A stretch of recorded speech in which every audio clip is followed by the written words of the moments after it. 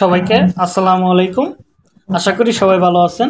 আজকে আমি কথা বলতে যাচ্ছি ফেসবুক প্রফেশনাল মুড থেকে কীভাবে কনভার্ট করে আপনি ক্লাসিক মুডে নিয়ে যাবেন। কারণ আমরা অনেকেই আছি যারা নতুন ফ্রিলান্সার বা মোটামুটি ফেসবুক সম্পর্কে আমরা কম জানি। সেক্ষেত্রে দেখা যায়, আমরা নতুন একটা পেজ তৈরি কর- ফেলছি। সেখানে আমাদের ফেসবুক আপডেটের ফলে এরকম একটা মুড চলে আসছে।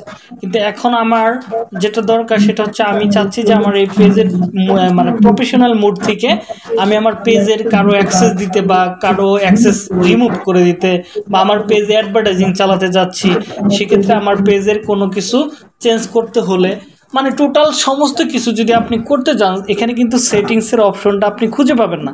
আমরা যদি এখানে যাই, দেখেন আমাদের সেটিংসের অপশন কিন্তু নাই। আমরা কিন্তু এখান থেকে আগে যে সহজে আমরা সব কিছু চেঞ্জ করতে পারতাম, কিন্তু প্রফেশনাল মোড আসার পরে কিন্তু এটা আমরা দেখতেছি না। অনেকে এটা লাইক করে না।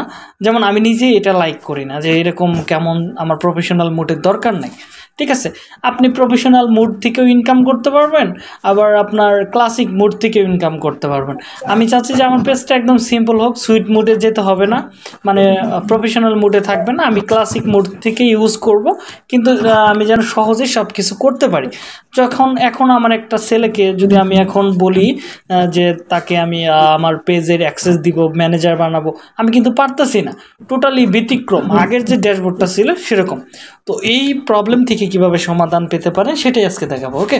যে আমরা প্রফেশনাল মুড থেকে কীভাবে ক্লাসিক মুডে কনভার্ট করতে পারি। একদম সিম্পল কাজ। আমরা প্রথমে আমাদের প্রোফাইলে চলে আসব। প্রোফাইলের আপনি মোবাইল দিয়ে হোক বা ইয়াতে করলেও আপনি দেখতে পারবেন, এখানে যখন আপনি সি প্রোফাইলে ক্লিক করবেন, এখানে আপনি অনেকগুলো প্রোফাইল দেখতে পারবেন, ওকে? আমার দরকার হচ্ছে এনবাটো থিম এইটাতে আমি চাচ্ছি যে লগ করতে। লগ করে আমি চাচ্ছি যে এটাতে ক্লাসিক মোডটা অন করে দিতে। দেখেন, এখন আমি যখন চলে আসলাম ওকে এটা এরকমই থাক ইউজ আপডেট হ্যান ওকে তো দেখেন, আমি কিন্তু এখন ক্লাসিক মোডে চলে আসছি। তো এখান থেকে ইডিট ডিটেলস ঠিক আছে, অনেক কিন্তু হিজিবিজি লাগে ওকে আমার, আমি হিজিবিজি চাচ্ছি না, আপনি জাস্ট ছোট্ট করে এখানে আইসা, এখানে দেখেন থ্রি ডট আছে থ্রি ডট এখানে এসে আপনি যেটা করবেন এখানে থ্রি ডটের উপরে ক্লিক করে আপনাকে যেটা করতে হবে, এখান থেকে সুইট টু ক্লাসিক পেস এখানে ক্লিক করবেন। এখন কিন্তু এরকম আছে। আমি দেখেন, এখন কিন্তু এরকম আছে। ঠিক আছে? যখনই আমি এখানে ক্লিক করব সুইট টু ক্লাসিক মোডে তখনই সাথে সাথে আমাদের পেজটা ক্লাসিক মোডে চলে যাবে। তো চলুন, আমরা ক্লিক করি। দেখি কীরকম লাগে। হ্যাঁ yes understand continue continue okay continue করতেই থাকব। দেখি কি আসে। ওকে অদার্স একটা দিয়ে আমি সাবমিট করে দিই।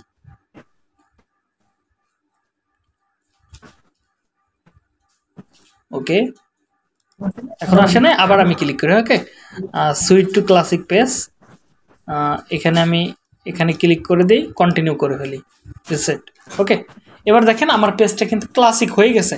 এখন যদি আমি এখানে সি প্রোফাইলে দেখি তাহলে কিন্তু আমার এখানে দেখেন ওই ওই মুডটা নাই, দেখছেন?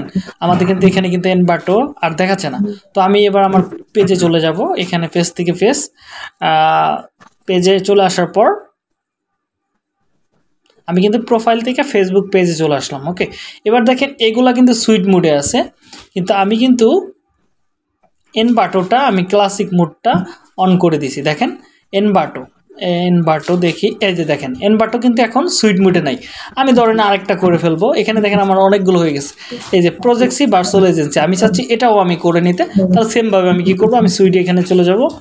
ধরেন আমি চাচ্ছি ভার্চুয়াল প্রজেক্সি এটাতে ক্লিক করব। আমি এই প্রোফাইলের ভিতরে কিন্তু আমি আবার লগ করলাম ওকে লগ করার পর এবার দেখেন আমি এখানে হোম পেজে চলে যাই। হোম পেজ প্রোফাইলে প্রোফাইলে ক্লিক করছে। ক্লিক করার পরে এবার দেখেন এখানে আমাদের পেজটা এরকম দেখা যায় ওকে ইউসি থাক নো প্রবলেম তো এবার দেখেন এরকম ক্লাসিক মোড নাই কিন্তু, এটা কিন্তু প্রফেশনাল মোড তো এখান থেকে আমি যেটা করব, এখানে থ্রি ডট আছে, এখানে ক্লিক করে ক্লাসিক মোডে কনভার্ট করে দিব। তো আন্ডারস্ট্যান্ড ওকে ওকে ওকে ওকে দুইবার করতে হয় ওকে এটা আমাদের লাগবে না। ওকে, আমি আবার ব্যাক করি, আবার প্রথম থেকে এখান থেকে করি, তাহলে এখন এবার হয়ে যাবে। Classic mode okay understand okay okay এবার দেখেন আমাদের কিন্তু ক্লাসিক মোডটা চলে আসছে। এবার আমি প্রোফাইলে চলে আসলাম হোম পেজে আসলাম, এখান থেকে পেজে চলে আসব।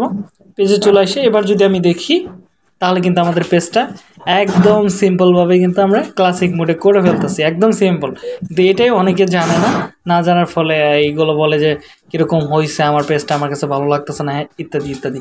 অনেক ধরনের কোশ্চেন থাকে। আশা করি এই কাজটুকু আপনাদের যদি পেজে যখন প্রফেশনাল মুড আসবে, তখন আপনারা চাইলে এইভাবে কনভার্ট করতে পারবেন। আর যদি মনে করেন ক্লাসিক মুড থেকে আপনি প্রফেশনাল মুড নিতে চান কমেন্ট করবেন, আমি এটা আপনাদেরকে শেখাবো ওকে আশা